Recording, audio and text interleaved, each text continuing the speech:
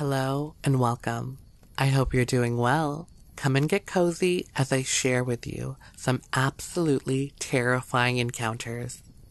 I post new videos every day, so be sure to hit that subscribe button and the notification bell, and you'll be notified when new daily content arrives on my channel. Alright, let's get right into it.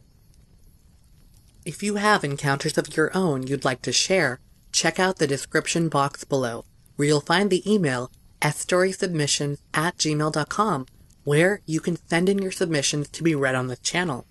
You can also send in your fan emails. I love hearing from you guys. This encounter happened when I was a child. Growing up, I spent a lot of time with my grandma. She had only one rule be home by dark or a whipping was coming. I had several cousins that stayed there also. We loved her and knew she loved us. We were always outside playing in the hills. No shoes and no shirt was the norm. How we never got a snake bite is beyond me. When cold weather set in, we still got to go in the hills, but it was going hunting we enjoyed the most. Fox hunting, to be exact. My Uncle John was blind, but knew the hollow and surrounding hills intimately. It was amazing to watch him always knowing where certain landmarks were and which way to go. When hunting, he would let us lead the dogs on chains to where we always camped. One occasion, as we were going across the jockey grounds, a place people got together and traded livestock, horses, guns, knives, and, well, you get the picture. The dogs began acting up. They barked and growled. They pulled on the lead. They never done this, but it was unnerving. If you know foxhounds, you know they're quite mean. My uncle tried to calm them as we held on to the chains. The dogs changed their demeanor and began to whimper and gather around Uncle John. As we tried to keep them from wrapping him up, my cousin, Stevie, said to look up at the rock slide against the bank. We were more concerned with the chains and my uncle's continuing demands to the dogs to stop. My cousin stated again and again to look, and when some of us did, there was nothing. Uncle John asked what he had seen, and Stevie said it was a huge, hairy monster that was laid across the rock watching them. Just then, the dogs began to act normal, and we continued with the hunt. We sat around the fire that night on top of the big knob, listening to the dogs running fox until sleep overcame us. Morning found us calling the dogs in and heading to Grandma's. The trip comes up in conversation now and again, with Stevie saying it was a Bigfoot he saw then. This happened in the hills of Kentucky, and I still experience things in the woods. I know it's here, and it sure gets scary at night sometimes, but I will always go into the woods. On to the next one. Near Fulton in Kalamazoo County in Michigan. I've had more than one encounter with Bigfoot or something. The incident I'm going to describe here is just one of the countless I have had. It was late, midnight or so. I was camping in a swamp with a friend of mine. We both have been to the campsite before. It's near where I grew up, deep in the center of this large forest. Mostly swamp, but the edges of the forest is hardwood. They logged it out some years back, and there are many treetops and fallen trees in the center. Swampy area, almost bog-like. You could walk for miles on just downed trees. We crossed darn near the whole place like that on one of our excursions out there. Anyway, the campsite is on this stream. Bear Creek is what we have always called it. There was a big bend in it and some of the only high ground in the immediate area. There were two huge old trees right there also. We had a small fire going and were sitting around talking quietly. I grew up with this guy and the two of us have camped regularly since we were young. The night was normal, in the sense of animal sounds and such. I heard it first, if I remember right. It was coming down the creek from the south. You could just make out the footfalls, though through this point, I should add, there are many deer trails. The main one follows the creek, and there is one that comes in from the east, which is woods and swamp. This spot was just one of many on the creek that had a major crossing point for deer. We have had more than one come through the camp early in the morning and cross there. It came closer, about 30 yards or so, and that is when it went off. Points of note. I did have a 12 gauge with me, and this was the last time I took it out camping there again. We had knives also. It started to scream, howl, vocalize at us, and while it was doing this, it proceeded to tear up a tree. I could not locate exactly which tree it was in that early morning. It went on like this for some time. I grabbed my gun and loaded it. My friend told me to quit freaking out and said he was going to talk to it, and he did. He went into the woods about 10 feet or more beyond the campfire and stood out there. I could barely see him in the darkness. It was early spring at this time. This went on for a bit more, a few minutes or so, and then stopped. I heard nothing more, no movement, nothing. It just went away. We have tagged this thing with the name Monkey Beast, for that was our first thought that some strange monkey was out in the woods with us. Note, I never shot my gun, nor did I raise it or level it toward the sound. The night was clear. I'm going to place my bet that we were right on one of the main runways that it travels. I deduce this from the other incidents that have happened at the exact spot. Stuff has happened there, like this, about eight or nine times with a witness every time, but only one. If there was more than one, we did not hear it or see anything but I would guess that there were a lot more noise too at those times. We have camped at that location for around five years and in that area for eight or nine years. Why I never took a camera or a video recorder, tape recorder, I don't know. I've never found any tracks either, and I've spent some time looking. During this incident, we were around the ages of 16 or 17. Firelight nighttime. The weather was nice for spring. The area is swamp and hardwood at the edges. The creek runs right through the middle of it. There are a lot of stories out there. I have seen this thing once, for sure, maybe twice, and heard it on 15 or so occasions. On to the next one. South of Mio in Oscoda County in Michigan. Late at night, just before bedtime, while camping, it was extremely quiet. No hint of it approaching our camp. We all jumped up and it ran after a loud roar. I don't remember anything after that or even exchanging a story with my kids until recently. We still avoid talking about that night. I can't stop thinking about that night. It was an extremely loud roar. The trees on the trail 20 feet from sighting were twisted all along the trail Two of the three witnesses saw the creature, and they all heard the loud scream. It was 11 p.m., calm and dry. On to the next one. This was near Evart in Osceola County in Michigan. This was the first time we saw it. It was in early November. My brother in law shot a deer while bow hunting. We waited until everyone was back in camp before our search for the deer. At that time, I could carry a handgun into the woods. We went out with a Coleman lantern for the search. We went back to the tree stand and looked for blood. We followed the trail and it stopped. We looked around, then we heard a noise that got our attention. I held the lantern high to see further with no avail. We heard footsteps pacing back and forth, heavy steps that had a lot of weight behind them, deliberate to get our attention. It did. We could barely make out the outline. It appeared to stand seven feet or so tall. I could not make out the features well. We believed that it took the deer and just wanted us to go away. Next, it made this guttural sound, a warning, so it seemed. I never heard anything like it in the woods before. It's so hard to describe. We felt threatened and I took out my handgun and said if it came into the light, I would use the pistol. Slowly, we backtracked out from the area and back to camp. On to the next one. Moving to this place on the Columbia River in Washington seemed like I had left all civilization.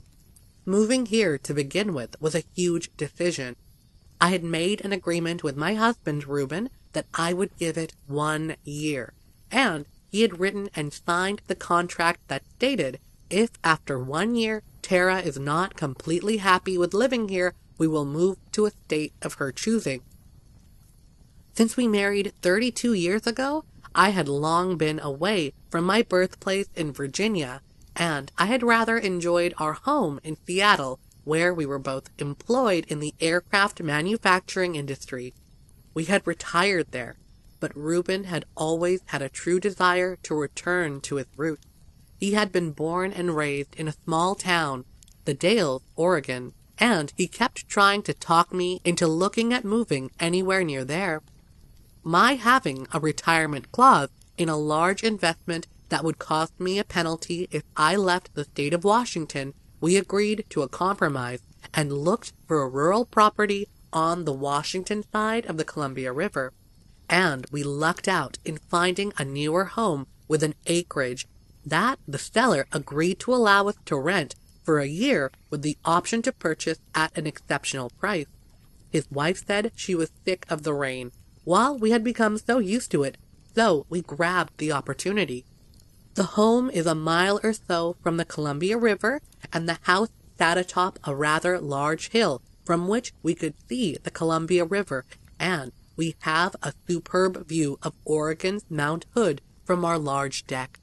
I had to admit that it was strikingly beautiful, but I was afraid of being so remote. Vancouver, Washington, and Portland, Oregon were only an hour or so away, which brought about my agreeing to the deal, as civilization was at least close. We made the move, and I'll have to admit that the steam whistle from a passing ship gave me a fond memory of my childhood home. After we had settled in and made a few shopping trips to the Portland malls, I was ready to be sold. So I told Reuben to start selling. We were soon carrying backpacks and heading out into the national forest that bordered our property line, and we found the beautiful forest were absolutely crisscrossed with hundreds of deer and elk trails. Since much of this area was a designated wilderness area, we had no intention of doing any shooting, but the handguns we carried were at the advice of the local rangers. When it came to the subject of Sasquatch, I'll admit to being highly skeptical, and Reuben had long ago ceased trying to convince me of their existence, but I had never bought into it. Now, however, when we had visited the local rangers, the subject had come up purely by accident, even though at first I thought that Rube had asked them to stage it for my benefit. A young couple was telling the rangers they had been chased by a Bigfoot, and they seemed sincere enough, but I was still suspicious until it was our turn at the counter. The ranger never even mentioned the creatures, and my curiosity forced me to address it. The man politely asked that if and when we should encounter one, to please quickly back away and not even attempt to approach it, as they were very docile until they sensed danger. And then, he said, they think they're King Kong. That was enough for me, and as I had so easily accepted this as truth, I wondered why I had never before taken it seriously. We began making regular explorations into our property and gradually stretching out into different areas of the government land surrounding us until we had accumulated a collection of favorite routes throughout many miles of territory. And in all of those many miles, we had only once seen another human being. Reuben showed me why it made sense, but after the main road arrived at our property, it turned away sharply and went around the rugged rocks that bordered our hill, and when it once again curved back around, the distance to return near our land was about 10 miles through rough terrain. I realized then why so few vehicles ever came anywhere near us, except for forestry rigs. In our explorations, we had seen large numbers of elk, black-tailed deer, foxes, coyotes, all types of squirrels, ravens, crows, hawks, eagles, and so many species. I could not even begin to list every one of them. But I reminded Rube that I still had never seen one of his mythical Sasquatch. That must have triggered something in his nature, because on our very next outing, I got my proof in faith. We began venturing deeper into the forest with each trip, and gradually learning the fastest routes through the massive forest. During our exploration, we came across an increasing number of wolf tracks, and, according to the rangers, there should have been only a few remaining. However, we identified two distinctly different, very large prints, and with the differences in the rest of the pack's prints, there had to be two separate families of these wolves. There definitely was a sizable difference in the two adults in each of these packs. The coyotes were less than the ranger had suspicioned, but we felt it had to be because of the number of wolves. I was personally more afraid of the large cougar tracks, and one day when we ended up returning by our same route, we saw fresh tracks where a cougar had followed us. Finding cougar prints over our own tracks made only hours before was unnerving to say the least. And I found my hand reaching back often to feel the reassuring grip of my handgun. Once we came upon a cougar with a deer that it had recently killed, and instead of retreating, it just stood over the deer and snarled at us. The animal's teeth were enough to give me nightmares, and its snarl gave us all the reason in the world to back straight away. That blood curdling scream echoing through the forest was further evidence that the cougar did not wish to be disturbed any further. I experienced a rude awakening at that point because I always heard that all wild animals in our state automatically yielded their space before humans, but they must have forgotten to notify the cougars. We also saw a few bobcats but they never remained in the view more than a few seconds before they disappeared. As we backed away, I noticed the revolver in Reuben's hand, and I was reassured in my suspicion that the cougar was not about to back away. Perhaps it had little mouths to feed. Realizing it was no different than someone approaching me when I was loading groceries in the car at Walmart, I too would be alarmed and defensive. After all, we were interrupting the cougar's shopping trip and its meal the early spring gave way to a beautiful summer. The small accumulation of snow was gone, and we were anxious to resume our exploring, and Reuben was still selling me on the property that he had very obviously fallen in love with. I remained passive, relishing in Reuben's efforts to point out all the pluses for going ahead with purchasing this property. I, on the other hand, was still thinking that there were other more civilized places to live in the state. Our next adventure was one that we had both looked forward to, but put off due to the early snowfall last year that would have caught us at too high an elevation to be safe. So now we were headed for the Ape Cave. I believe that it got its name from Gifford Pinchot, who was President Theodore Roosevelt's Secretary of the Interior and was also the president's brother-in-law if my memory serves me right. Not that it matters, but it impressed me that such famous people were knowledgeable about this very spot. We had carefully planned this trip for a year, and all of our research indicated that the first visitors to this area were assaulted by huge apes that pelted them with stones and rolled large boulders down on them from the cliffs above. We certainly weren't afraid of any ape people still guarding the caves. However, the ranger cautioned us that there may have been a group of Sasquatch way back then, before anyone had ever heard about their existence, and they very easily could have descendants that exist to this very day. We appreciated their words of caution and the very real chance that there could be descendants of those mysterious apes, as the head ranger advised us.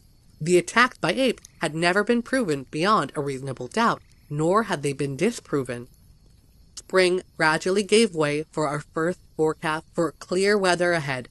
So, having been befriended by a ranger whom we allowed to have access to a large pond on our property for an experimental trout study, he accumulated a collection of old documents that all had individual reports from those who had documented their sightings and encounters since the very first sighting.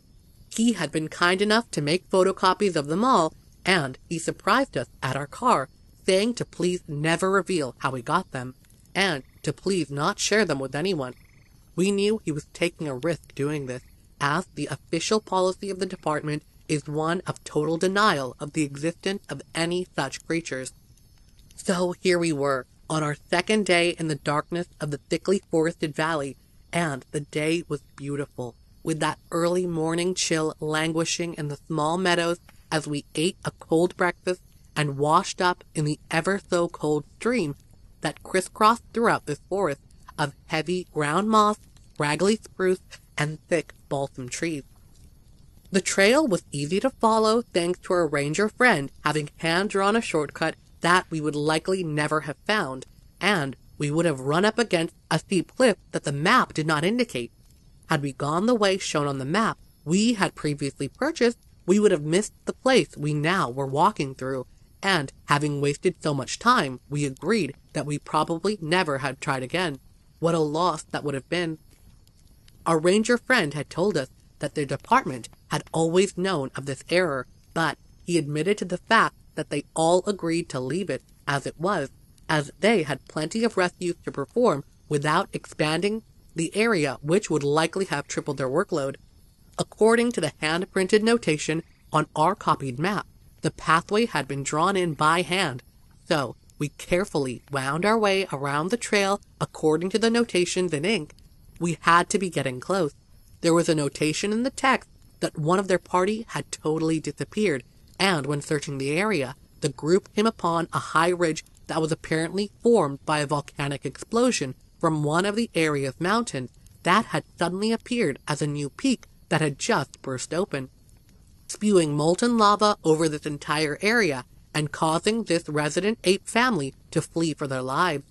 After the violent eruption, there remained an entire network of caves left as the lava cut its way through the molten rock, and it flowed at a fast enough speed that it left a huge network of smooth-walled, tube-like caves throughout a wide area.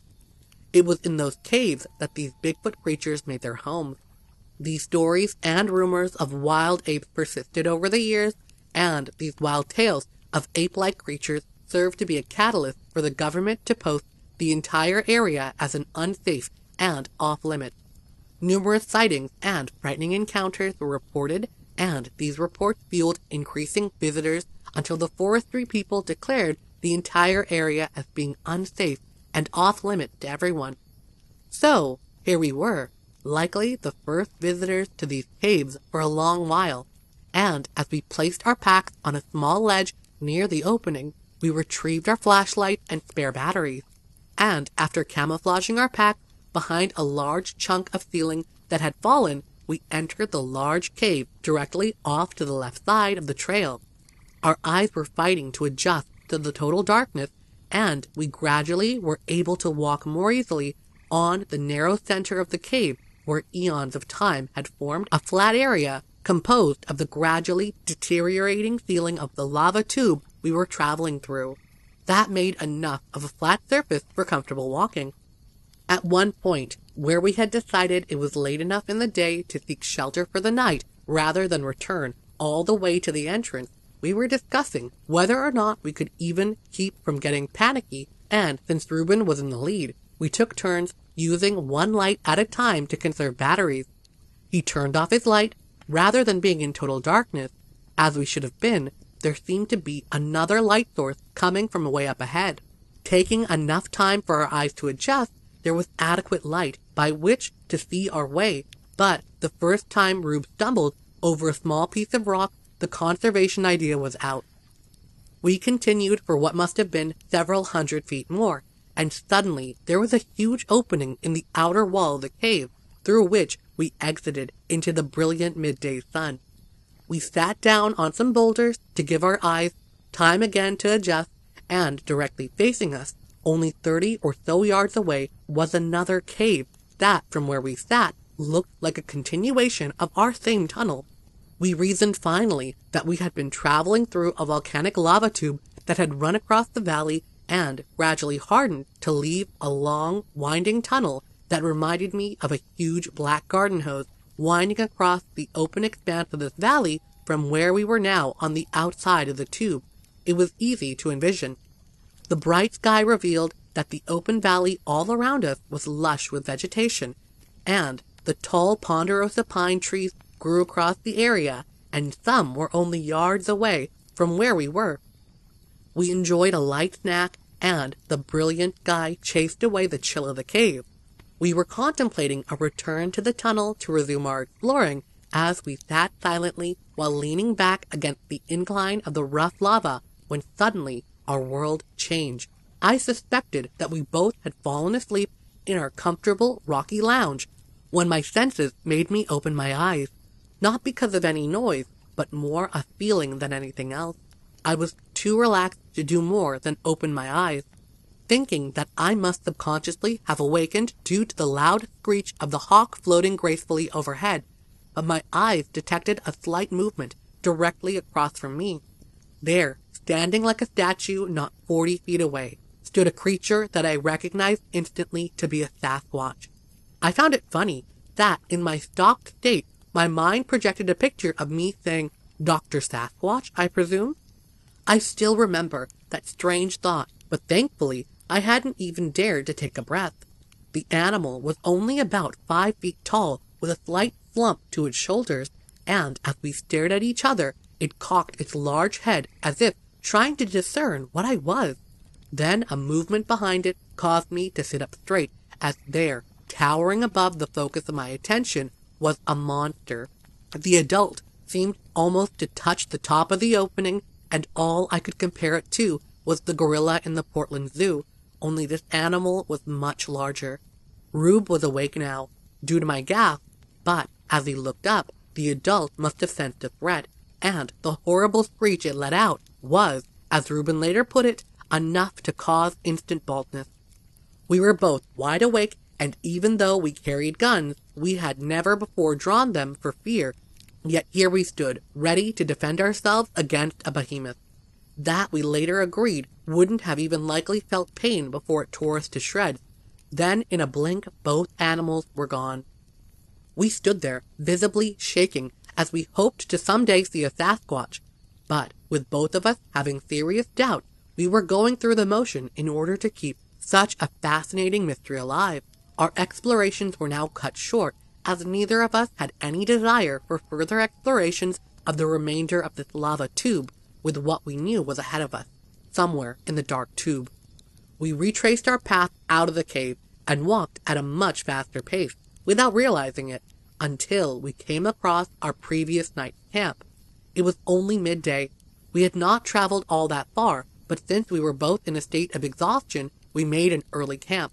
Without speaking, we were each alone with our thoughts. When I noticed, Rube had withdrawn the roll of heavy twine that we had carried for emergency wrapping for splints and such. He was stringing the twine in a huge web all around the willows surrounding our campsite. Then he retrieved an empty can from our trash bag, placed several small stones in it, and added the can to the string between branches. Testing several places in the network of his alarm system, Reuben finally noticed me watching and said, Custom Sasquatch detector. I know we both slept better that night. Leaving at daybreak the next morning involved adding the alarm system to our carry-out trash collection, and a hasty breakfast.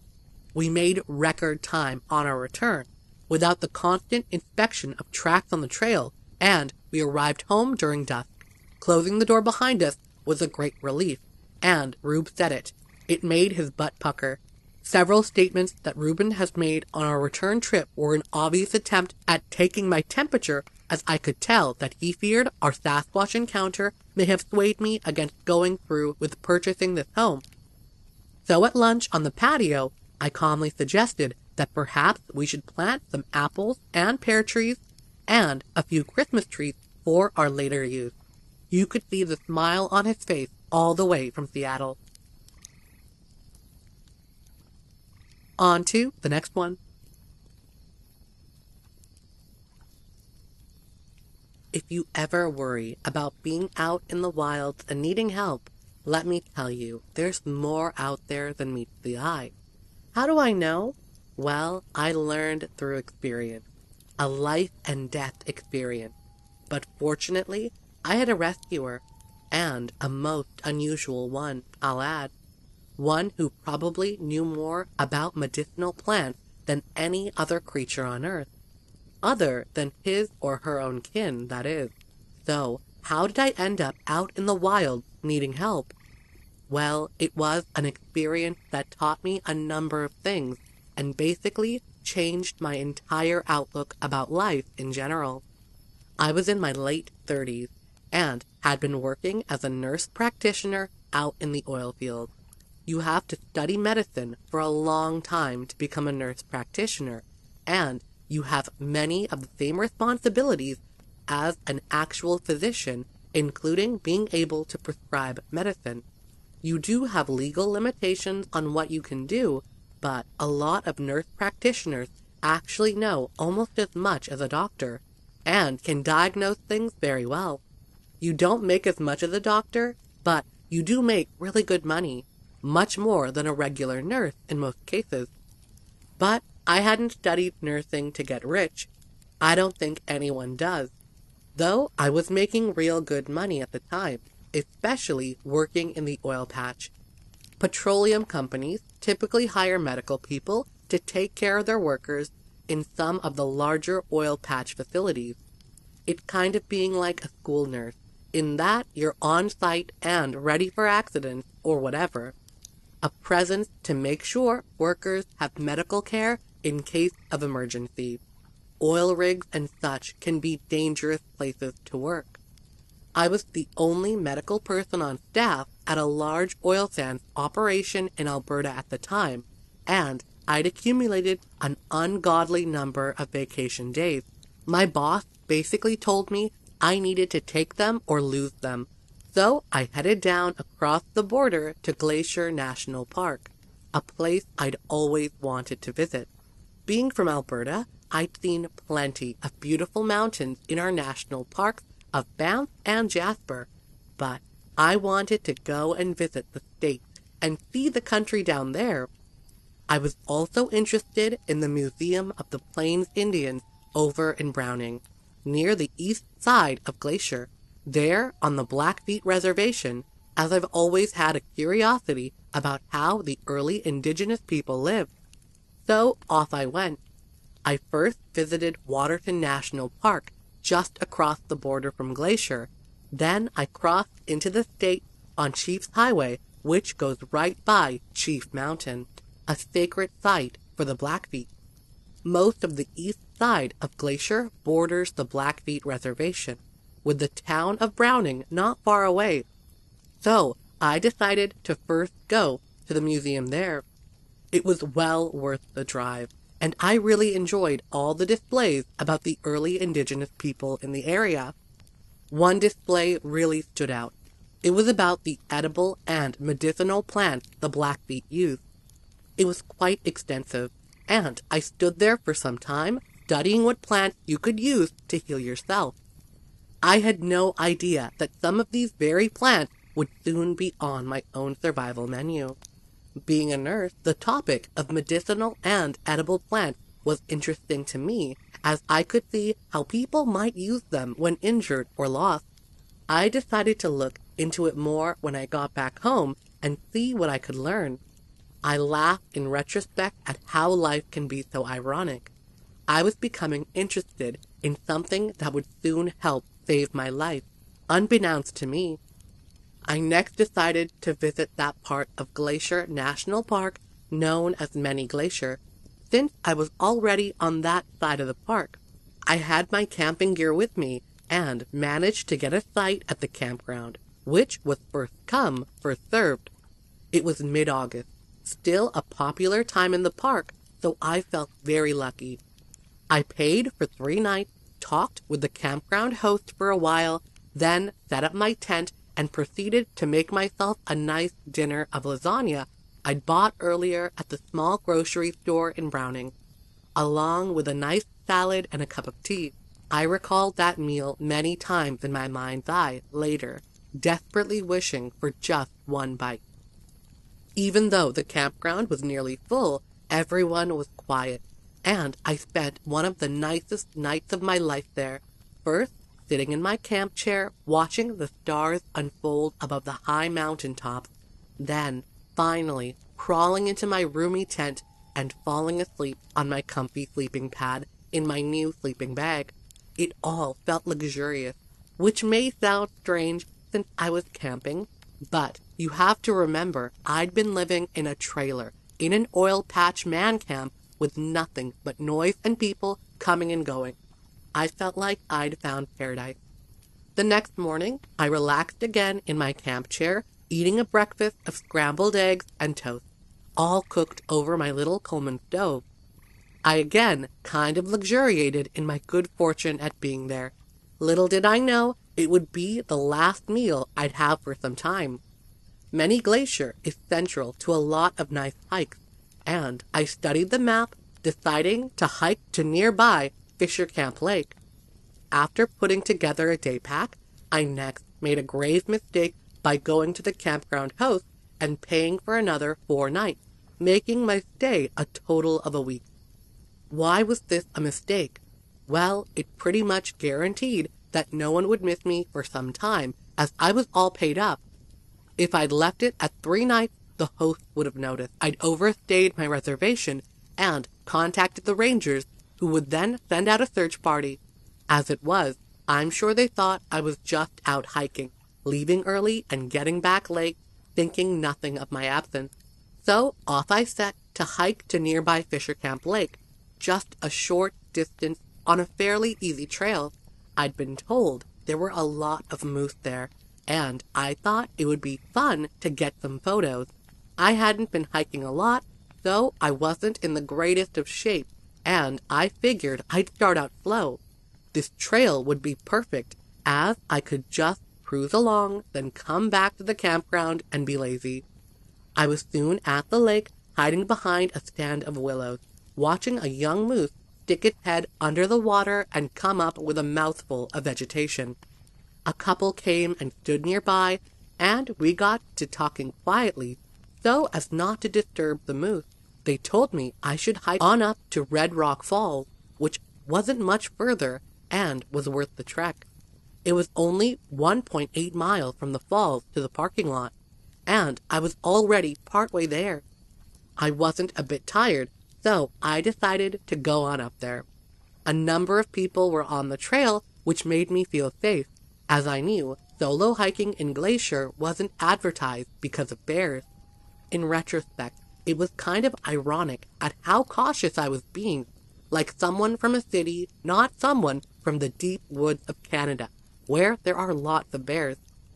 The trail was still easy, and I was really enjoying the hike.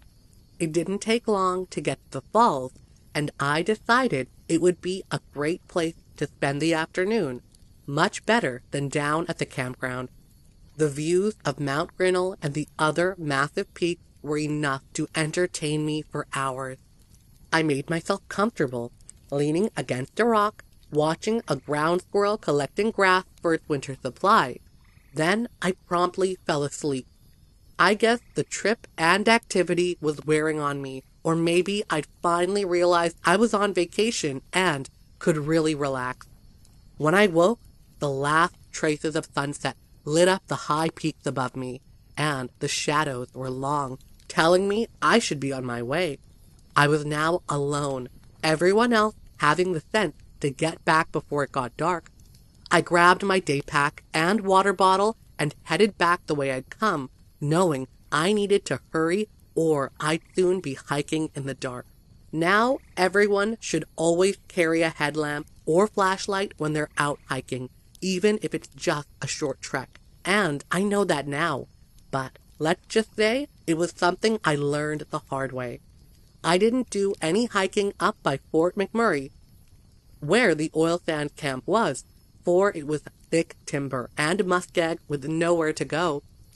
I was now nearly running, trying to beat the light when I must have snagged my toe on a root or something, because before I knew it, I went down.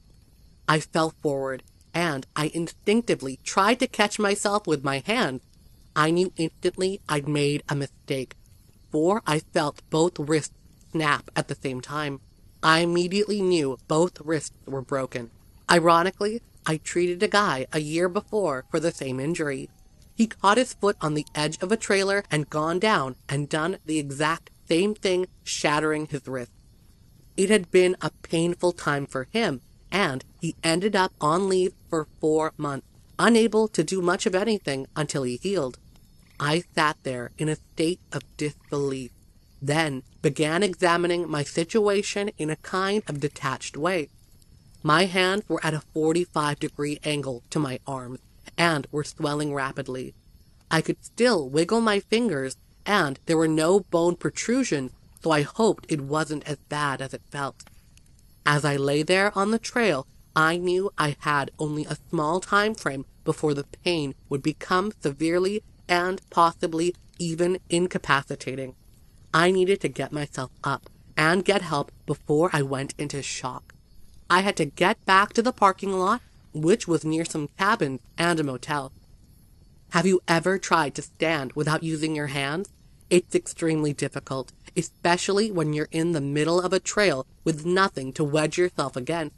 I tried and tried, using my elbows to try to lift myself up, but each time I felt like I was going to pass out. I finally realized I was going to have to scoot over to the edge of the trail where I could brace myself against a tree. I managed to scoot along on my rear, but I misjudged the edge and rolled right off the trail down into a stand of huckleberry bushes. I managed to hit one on my wrist on something in the process, and the pain was so intense I must have passed out, for I don't recall anything until I woke up in the middle of the night moaning. It took some time to recall where I was and what had happened, and I don't remember a lot about that night, except that my hands and wrists had become so swollen I couldn't move them at all. I could no longer even wiggle my fingers, and the pain was intense. I now wondered if I wasn't going to die from hypothermia as I was shivering. I miraculously made it through the night, though I remember falling into a fitful sleep off and on, waking occasionally and wondering why I didn't just die and get it over with. It seemed ironic how quickly my happiness at being there had turned into tragedy and what seemed like my own imminent death. Okay, my first mistake was not having a light, and my second mistake was misjudging the edge of the trail. But I was now about to make my third mistake, which was even worse than the first two. As it became daylight, I was finally alert enough to realize what was going on. I tried to crawl back up the trail using my elbows, but it was too painful, as well as too steep. When I realized there was no way I was going to get back on the trail, I should have stayed where I was and yelled when I heard people go by, and I'm sure I would have been rescued within hours. But instead, I decided I needed to get down by the stream and put my hands and wrists in the cold water to reduce the swelling. I recalled that when the oil sands worker had broken his wrist, the first thing I'd done was wrap them in bags of ice, which helped with both the pain and the swelling.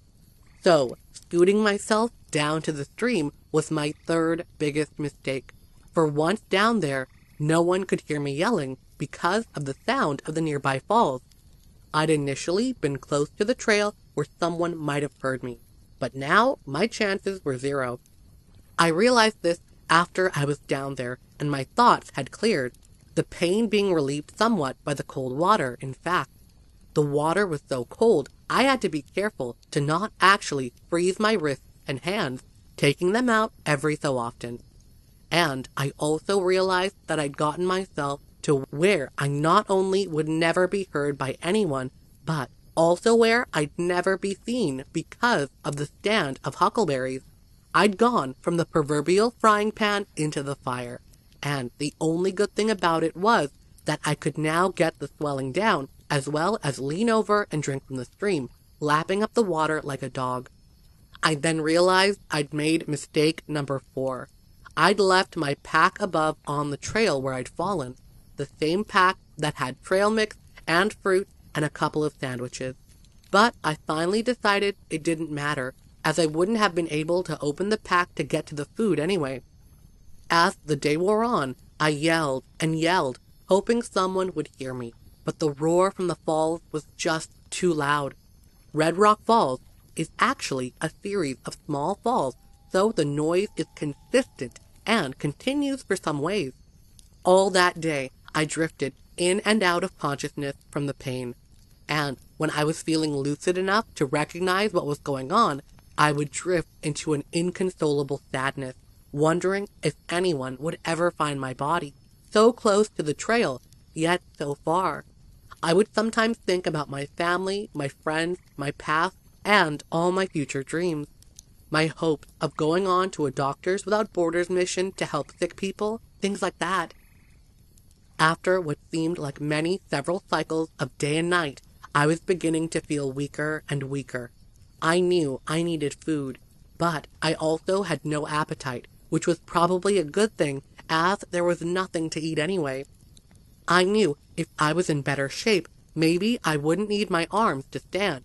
But I tried everything, from wedging myself against a tree to even sliding around on my rear end to a small rise, where I used gravity to help me get on my legs, but promptly fell back down, almost again hitting my wrist. Finally, I recall waking one morning to something pushing its wet nose on my face, then opening my eyes to see a fox, of all things. It looked at me with what I interpreted as sad eyes, maybe wondering why I was there. By then, I'd given up all hope and wishing death would come and get it over with.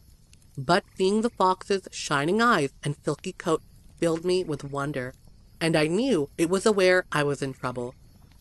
For some reason, that little fox left me with a renewed will to live. Well, I could add more, but I think you get the picture. I later figured out I'd been there about four days when I had what I call the dream, though I don't know if it was a dream or if it really happened. If it was real, I barely even saw who or what visited me. I'd yelled so much I was hoarse and had a sore throat, and like I'd mentioned, I was getting very weak, though fortunately I had plenty of water. Humans can live for three or four weeks without food, so I'm told, but only a few days without water. So I was lucky to be near the stream. If you want to call sabotaging myself by rolling up the trail any kind of luck. Finally, despairing of trying to deal with the constant pain and unable to get myself up off the ground, I finally just kind of lost it. I went into a tirade about how I didn't want to die like this and how it wasn't fair for someone who dedicated their life to helping others to die without help and on and on. This was followed by a round of yelling and sobbing and just letting it all go. I then settled back and suddenly felt at peace with everything. I guess I'd gone through denial and then on to acceptance at that point. I drifted off, and when I woke, it was dusk, though I'm still not sure I was actually awake, and it wasn't just a dream, or maybe I was hallucinating. But there, in the evening shadows, I saw a huge form coming toward me, pushing its way through the trees and bushes. As it got closer, I could feel my hackles go up, for it looked like a huge grizzly bear, larger than anything I'd ever seen, even in the Canadian bush. It was hard to tell because of the lack of light, but I could finally see it wasn't a bear after all. But it was walking on two legs and had a human-like face. Now this large creature came to my side and bent over, holding out what looked like a small, flat pancake. I was of course unable to take it, and I just looked at it questioningly, afraid to move. It was close enough that I could see its face was covered with dark skin and its eyes were really big and liquid looking. He, or maybe it was a she, I don't know, then put the small cake up to my lips as if wanting me to eat it. I took a bite and it was really crusty, but as I slowly chewed it, it actually tasted pretty good, though it had a somewhat bitter aftertaste. I slowly ate the entire thing, and I imagined the creature looked pleased, though I could barely see it. It then turned and left. I immediately went into a deep sleep, and when I woke, it was daylight. Miraculously, the pain had lessened, and it looked like the swelling had gone down. Then I noticed a small pile of what looked like raspberries nearby. Not being able to use my hands, I finally managed to scoot over next to them and basically lick them up. Again, like a dog might do, I've never had anything taste so delicious and I found out later they're called loganberries. I then scooted back to the stream and put my wrist back in the cold water for a while, then slept. That evening, again at deep dusk, the creature returned with another of the cakes. It again held the cake for me as I ate it, and it was then that I realized the bitter taste had to be lactic acid, the main ingredient in aspirin and what relieves pain, fever, and inflammation. I've since learned that willows and other plants naturally contain lactic acid and were used extensively by the natives for treating pain and swelling. The creature also had some huckleberries, which it slowly fed me. As it did so, I tried to study it more closely, but it was so dark it was hard to see much. It then walked around behind me, and for a brief moment I was scared what it might do, but it gently picked me up and carried me back up the trail. I was certain it would leave me there, but it didn't. It actually carried me all the way back to the parking lot. By then, it was pitch dark, and there was no one around. It took me to the steps of one of the nearby cabins where it gently put me down. What it did next, I'll never forget. Stepping back into the trees, it let out the most horrific howl I've ever heard. It was so loud, I wanted to put my hands over my ears, which of course I couldn't. I could now hear people inside talking, and I started yelling at the best of my ability, which wasn't very loud, as I was so weak. But I guess it was loud enough for they tentatively opened the door and upon seeing me, helped me inside. I knew then that the creature had slipped into the trees and was gone. Everything after that is kind of a blur, though I do remember going to the emergency room where the ER staff quickly carried me to a bed, hooked me up with saline and morphine, wheeled me to an x-ray room where they took multiple x-rays, then knocked me out to straighten and splint both wrists. When I woke, I had no idea who I was, where I was, or what had been done, which I think was a good thing. I spent two weeks in a rehab facility, then went to stay in an apartment in Calgary my company rented for me, where I had constant care for several months until I could use my hands again. It was a long, slow, frustrating process, but fortunately there was no permanent damage. I eventually returned to work where I started studying medicinal plants in my free time. There's a lot more to the topic than one could learn in a lifetime, and I eventually quit my job to go study with some of the indigenous people in Western Canada, writing a book about it in an effort to help preserve their knowledge. I now live in Whitehorse in the Yukon, where I again work as a nurse, but also work with the natives to try and preserve their heritage and culture. There's not a whole lot more to my story, except that I sometimes wonder why the creature didn't take me to the cabin when it first found me, but instead waited a day. Maybe it thought I could go on my own after eating one of the cakes, or maybe there was something else going on, like a bear on the trail. I'll just never know. I just feel very fortunate it helped me. But I still sometimes wonder if I didn't somehow rescue myself and dreamed everything else up. It's just hard to imagine something like that actually exists, I guess. And now, when I sit and look out into the Yukon wilderness, I'm not afraid. But my whole perspective has changed. I guess you could say my sense of the mundane has been replaced by a sense of wonder. For I now know there's more out there than we could ever understand. And I guess that can be a good thing, depending on one's perspective. I know it turned out to be a good thing for me, a very good thing. On to the next one. It started when I stepped out of the bar and nearly stepped on a badger. No, I hadn't been drinking, and I doubt if it had either unless it was drinking river water. It was 1 a.m., and my sister and I had just closed everything down. Our little pizza bar here caters to the college crowd, so it's sometimes a lot of fun.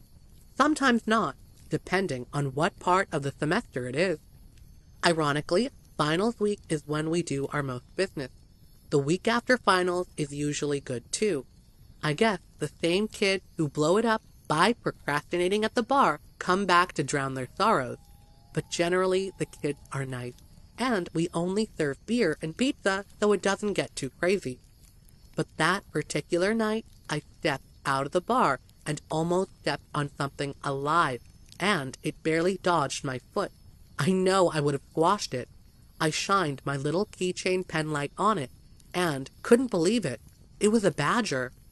I ran back in and got Josie, my sister, but by the time she came out, I could see it trying to hide over under a small bush in the alley.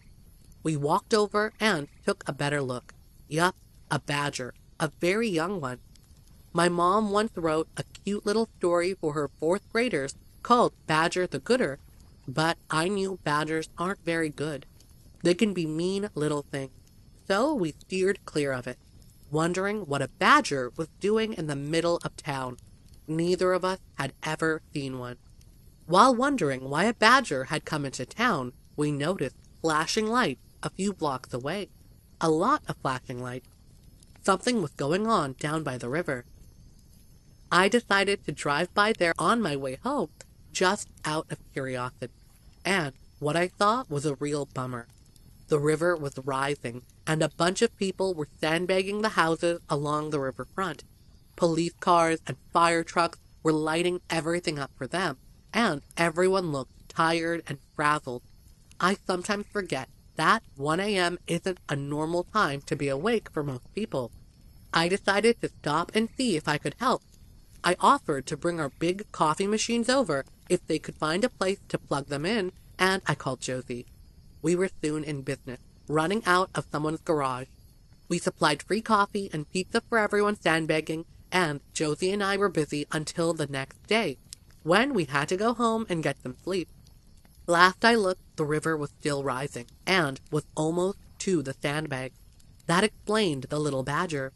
Its home was washed out, and it was seeking higher ground. I felt bad for it, and hoped it had found a new home. The next afternoon, on my way down to the pizza bar, I swung by the river to see how things had fared, but I couldn't even get down there. The road was closed, and I could see the floodwaters coming right up into the next street. It appeared all the sandbagged houses had been evacuated and probably flooded in spite of everyone's efforts. It had been raining for days, and though this was something the town had experienced before, it had been a number of years ago. The town had been built along the big muddy river where it served as a headquarters for the timber mill that worked the big logs the loggers would send floating down from the thick forest in the mountains above. The mill had long since closed, and the little town was now home to a small college, or it would have died off a long time ago. There wasn't much anyone could do at this point except evacuate their homes if they lived near the river. The rain was forecast to get more intense.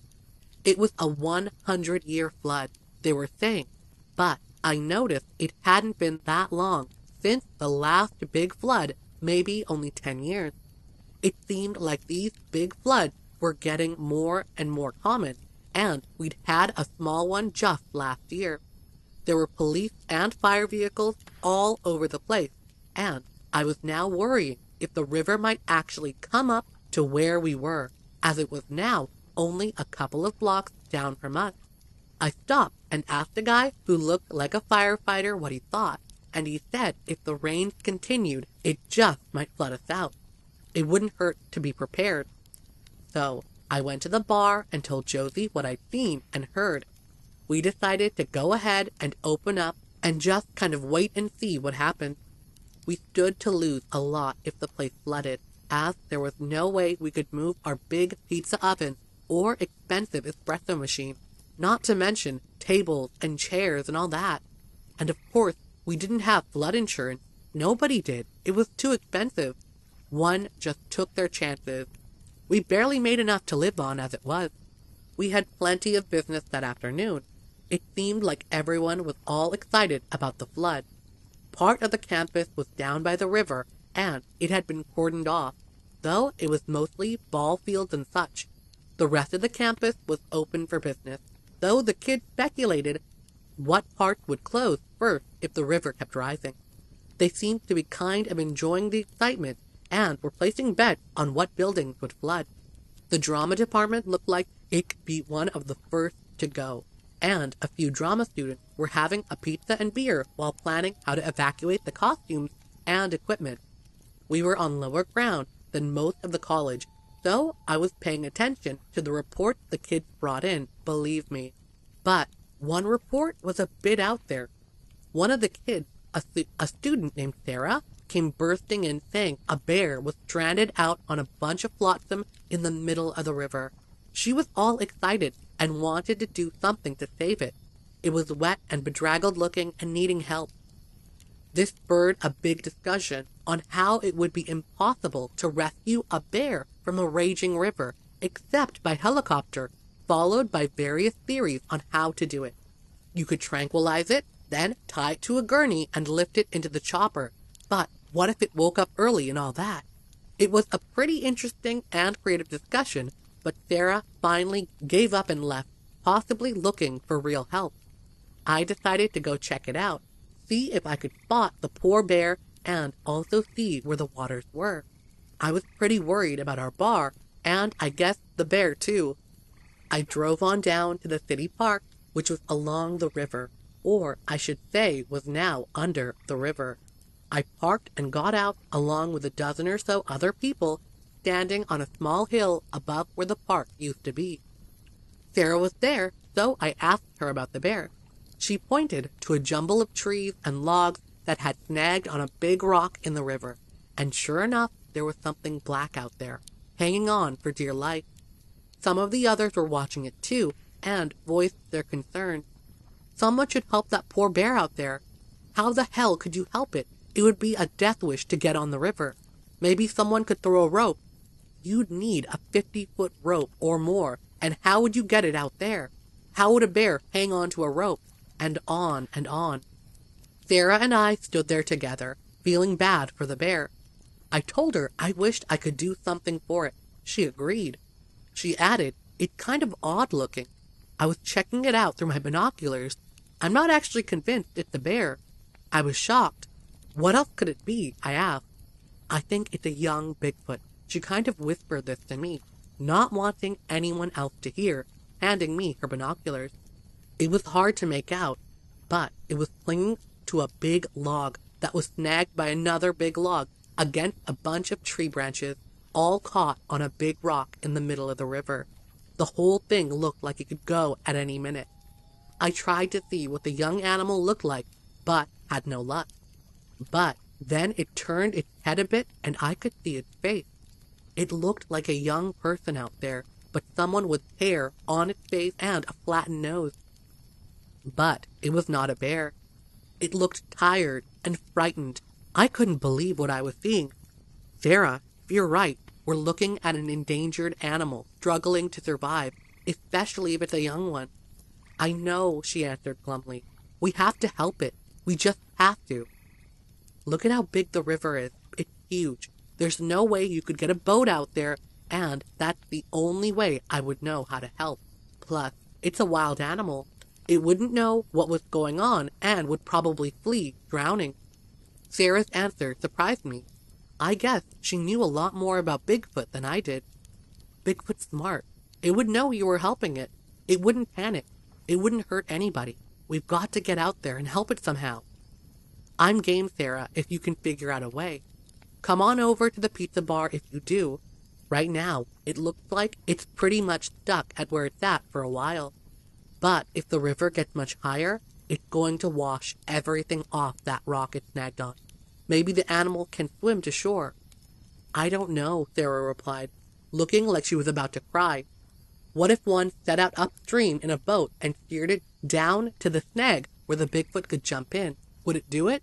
You'd have to be nuts to get on that river right now. Don't even think about it, Sarah. One big log and you'd be history. And I doubt if the animal would jump in anyway. And it would only have a minute to do so, so then you'd be swept past it, or maybe snagged there too. Sarah sighed. You're right.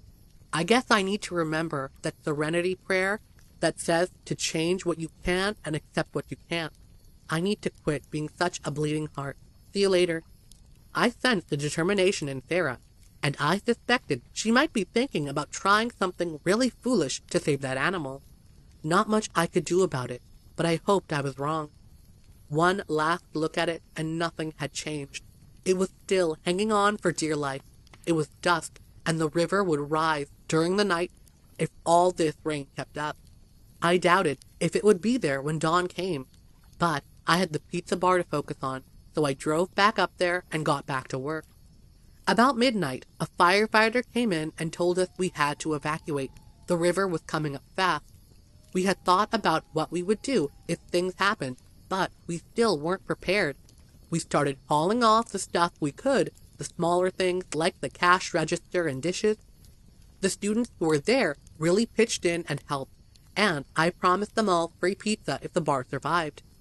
A couple of them drove pickups, and when we had everything that we could get out, we took everything over to the house and unloaded it all. It was a sinking feeling to stand there in the rain in the middle of the night, looking at all we owned possibly being ruined, even though we had put tarps over it and brought the smaller things inside.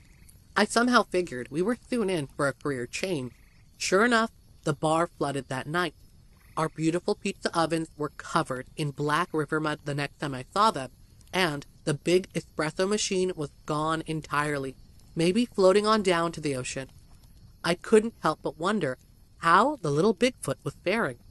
Its plight somehow made me more appreciative of my own situation, dire as it was. All we stood to lose was our livelihood, but the little animal stood to lose its life. It seemed sadder than seeing all our stuff lying wet on the ground. I slept a little that night, but the excitement was too much, and I was up at dawn. I was worried about the little animal, whatever it was, and I wanted to see if it had made it through the night. The way the river had risen, I was doubtful. I drove on down to the park. The flooding was even more extensive now, and the river seemed to be rising even more. It hadn't abated any at all. It was still raining. In fact, it was raining so hard I couldn't really see if the flotsam snag with the little animal on it was even still out there. I went to check on the bar. I should have been more worried about it than the animal, as I somehow knew it was history, and sure enough, it was. I couldn't even get near the building.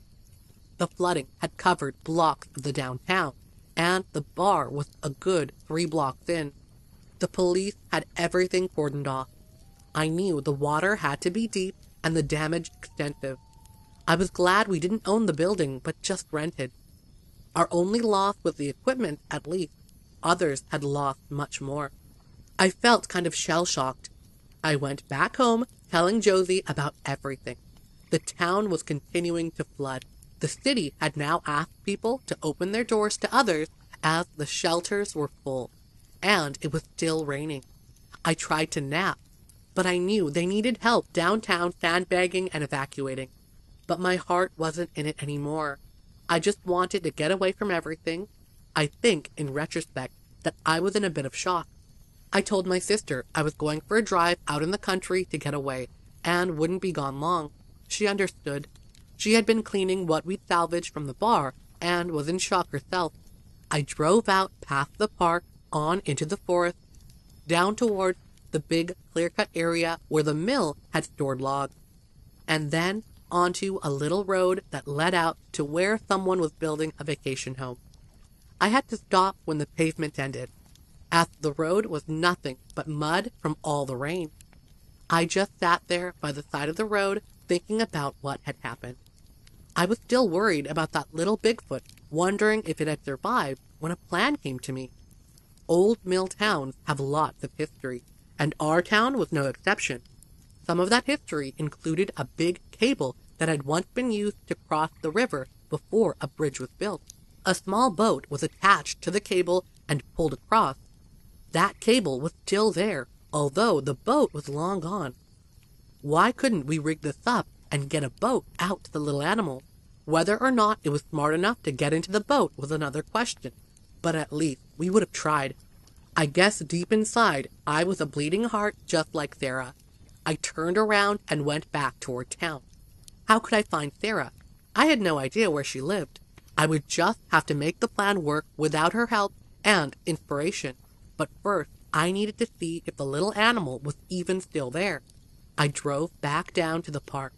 I guess great minds think alike, because Sarah was there, along with a dozen other students, and a small boat bobbed out by the flotsam snag, attached to the old cable.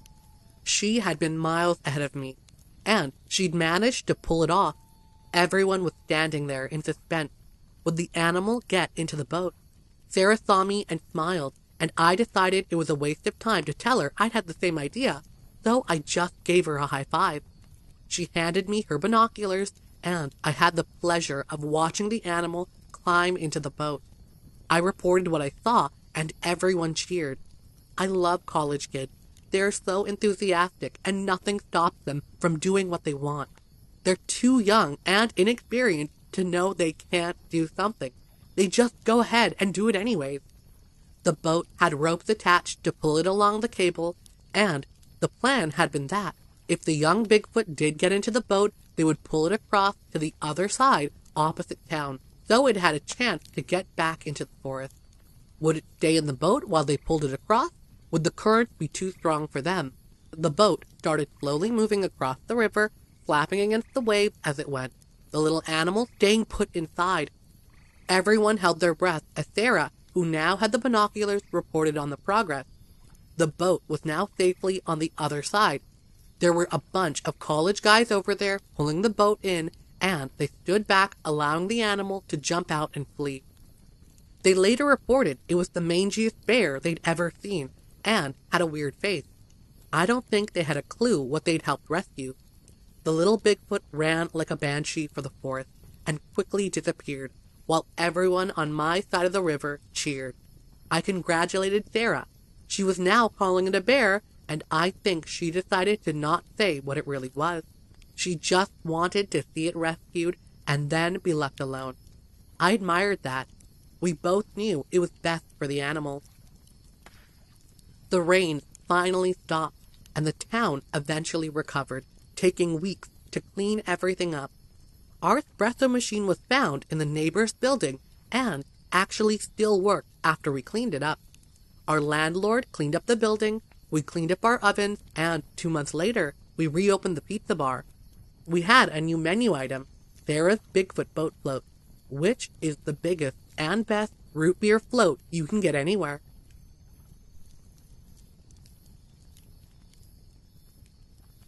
If you have encounters of your own you'd like to share, check out the description box below, where you'll find the email sstoriessubmissions at gmail.com, where you can send in your submissions to be read on the channel.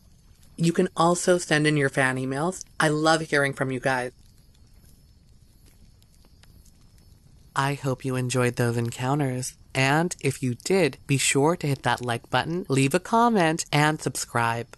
I post new content every single day, so be sure to hit that notification bell and you'll be notified exactly when that new content arrives on my channel. Again, thank you so much. And until next time, bye!